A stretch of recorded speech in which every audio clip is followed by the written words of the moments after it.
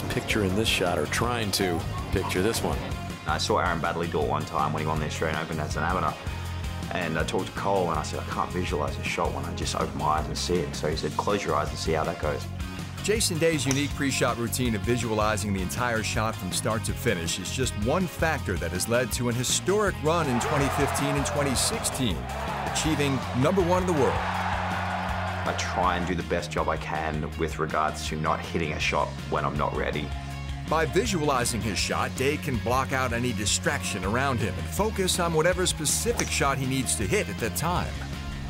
Last thing in my head when I hit a shot, it can be either a swing thought, like making sure I finish my swing, or slower backswing. That's when I'm focused the most, and that's when I feel like I'm in the zone.